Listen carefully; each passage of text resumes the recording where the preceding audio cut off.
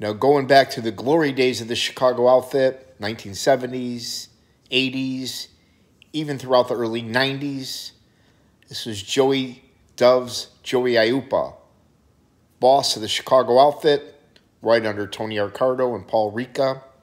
He was talked about a lot at the Family Secrets trial.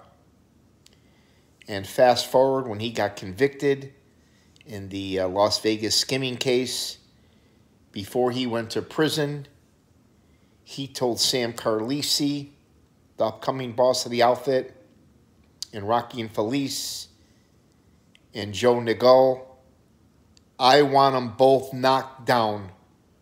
One and two, I don't care how you do it, just do it, referring to the Spilotro brothers.